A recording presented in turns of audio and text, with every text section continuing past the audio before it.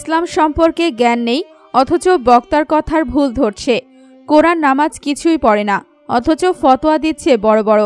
বক্তার কথা গ্রহণযোগ্য না হওয়ায় ইসলামী বক্তার জিব্বা কাটা হচ্ছে।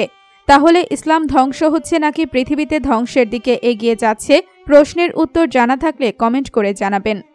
ব্রাহ্মণবাড়িয়ার আখাউড়ার ইসলামিক বক্তার জিব্বা কেটে হত্যা চেষ্টা মামলায় চারজনকে গ্রেপ্তার করেছে র্যাব নয়। গ্রেপ্তারকৃতরা হলেন জাকির হোসেন, মাহবুবুল আলম শিমুল, সুমন ও মোহাম্মদ আমিরুল ইসলাম।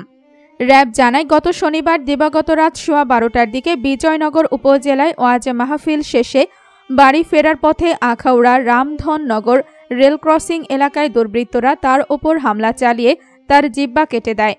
তিনি আরও জানান, ইসলামী বক্তাকে হত্যা চেষ্টার সঙ্গে জড়িত আসামিদের অবস্থা শনাক্ত করে একাধিক অভিযান পরিচালনা করা হয়।